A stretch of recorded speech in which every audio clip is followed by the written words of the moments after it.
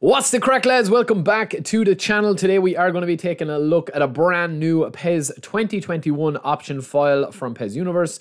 This is V1 of the 24-25 season option file. So we're just going to take a quick look at this over in edit mode and then we're going to show you a bit of action on the pitch as well and I'm going to explain how you get it and how to put it into your game, right? So as you can see here, there is two leagues fully updated. It is going to be the Premier League here and it is going to be the La Liga. So this is what's in V1. They also have a couple of the national teams as well. So you're going to have all the kits for the national teams. Um, you know, all the like the teams that can be edited. You're going to have the new kits there, such as France. So if you go into the strip here, you'll see that they have the new kits that France currently have at the moment. They would have played in the Euros with or whatever. And they've got updated stats, you know, game plan, all that to tie in with Master League if you are managing a match a national team as well. Now I know the rest of the leagues are being worked on.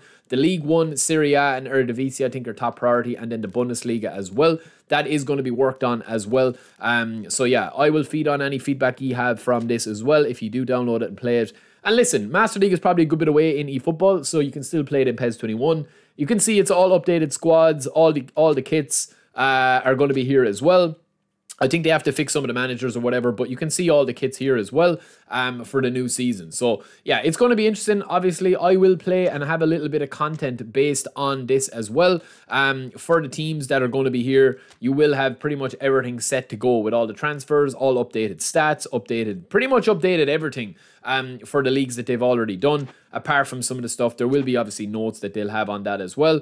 Um, so yeah, and then obviously, of course, you will have Mbappe at Real Madrid as well, um, and all that in the game plan. You will have the game plan here with custom game plans for when they have possession, when they don't have possession, how they'll attack, how they'll set up, um, and pretty much all the latest, like Endrick, all of these. Mbappe is obviously there as well, Bellingham.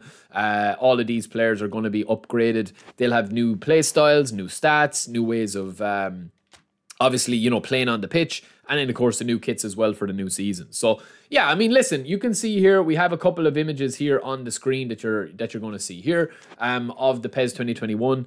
And again, there is some stuff that they still need to work on. Squad numbers, the rest of the leagues and all that will be, be throughout the year. I'll just let that play through there as it's going before we go over onto a match here. Um, and I'm going to show you. So to actually download this, you need to go over to the website and get it. And then you once you have it on your USB, you will just pop it on here to your USB, put your USB on. Um, there will be instructions on their side, obviously, as well. And then, you know, you will just go into edit mode. You're just going to click on edit. And this is a bit of a tutorial as well, I suppose, on it and a showcase. You're going to go down here to import export. Make sure that you don't have anything in your in your your images here. So if you do, you can go into delete images here and delete whatever you had. If you use the last season option file, or if you use some something else before, or if you don't have this, but it should be empty. You don't need to do a fresh install or anything like that. But then you're just going to go to import team and you're basically going to click every box here of every team that you see. So all of these are going to be clicked here.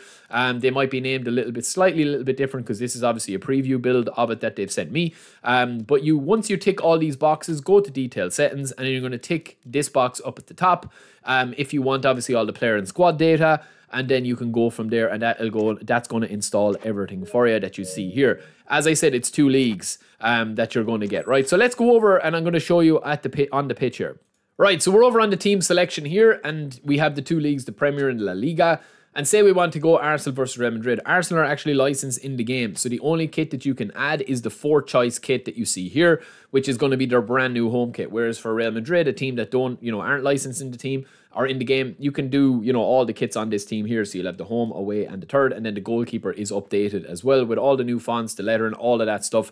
Obviously, PS5 uh, and Xbox, you can't do it on Xbox, but PS5 is a little bit more limited than PC. Um, but these are going to be the older season kits just because you can't change them. Now, that isn't an issue for the likes of uh, other Premier League teams like Man City uh, or any of those. Like if you go in here to City or even Leicester or any of those teams into City there, um, you'll have the same thing because Barcelona are now licensed. Their are their fifth kit there is going to be a classic one, but the fourth kit is going to be the current home one. Whereas Man City are going to have all their kits. So if you do see like oh City, you know have all their kits, but Barcelona don't, it's only because the teams are licensed. So there's there's a handful of teams that are licensed in the game. Um, but other than that, lads, yeah, that's pretty much it, man. You've got all the new teams. You've got all the the teams that have got relegated, and you know obviously the likes of Leicester there or Ipswich Town. Um, they're up um, from you know from the second division in England, from the Sky Bet or the the EPL. So um, or yeah, the Football League. And then you also have, you know, all the new transfers and all that. So you can see there that Julian Alvarez is going to be in the squad um, with all the new kits. David up to date with Kalvin Phillips, who just signed there as well.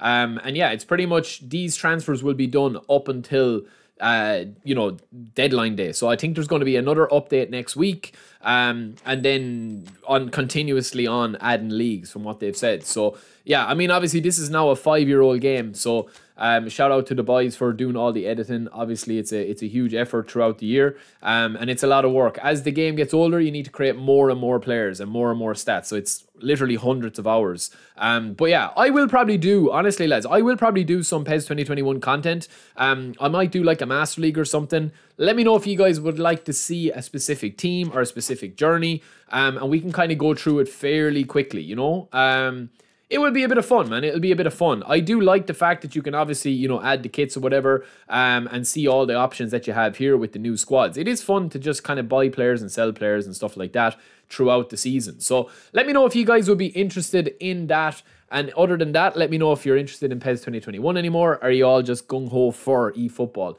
But that is a little tutorial, a little showcase. And uh, we'll be back with V2 very, very soon where they'll add more leagues and they'll have more transfers done up to date as the transfer window winds down. So that is it for me. I will talk to you in a little bit. Let me know in the comments below if you'd like some PES 2021 content, some Master League content. Until next time, peace.